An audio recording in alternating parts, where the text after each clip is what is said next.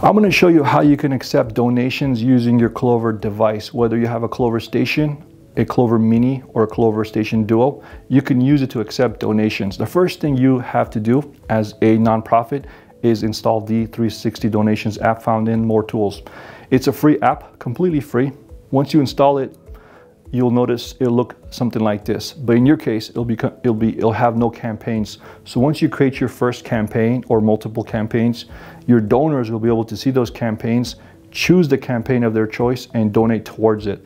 And it has a lot of settings in the back end which you as an admin can control. So for example, when I go in the back end by using my finger fingerprint sensor or putting in my password, I can go in the back and change the campaign name, change the campaign amount, make a lot of different adjustments to the campaign itself.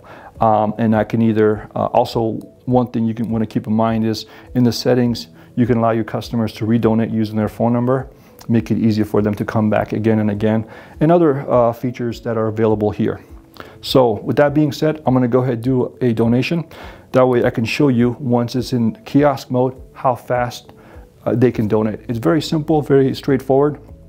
The only thing, the only time it may take longer than normal to donate is if they wish to give you their name, phone number, email, address, and all that information. But if they wish to donate anonymously, it's very quick, it's very fast. So let's go ahead, just do an example here.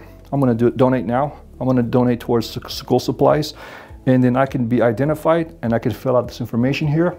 Um, again, you can have this optional or you can make it required. You may want it to be required, uh, and you can say you only accept donors with their information given, or you can say both. So I'm gonna do anonymous just to give you a demo. Once I choose anonymous, I press donate, and then I just take my card, and that's it.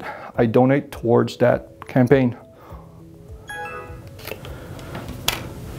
And then I go ahead and I can either have my receipt auto print, which is set up in your Clover end, or I can have it manually print by pressing the print button. When I, once I press done as a donor, the next donor in line or whoever wants to walk up to the donation kiosk can donate. Keep in mind that I got this, this podium from Amazon. You can buy something similar.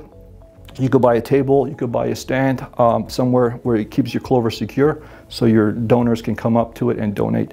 The app again is completely free, found in the More Tools and you can use it for your nonprofit to take donations. If you have questions, reach out to us uh, or ask your sales agent on how to get the app on your Clover device.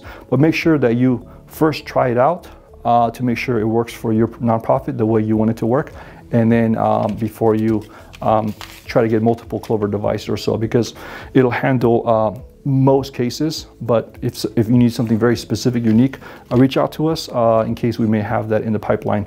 But other than that, Thank you for watching. We'll see you in the next video. Have a great day.